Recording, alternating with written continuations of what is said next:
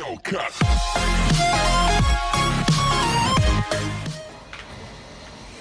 yeah. Wait, can you put Briggsy skull on the chest? no. Alright, I'm gonna drop this um chest off. I'm just JK, I'm not. Alright, this is my chest, I'm gonna hold it.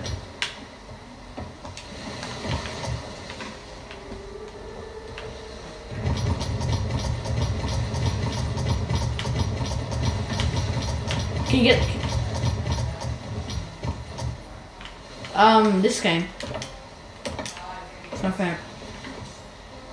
Uh, yeah, I love this game. No, it, it tells us where the Plunder Outpost is.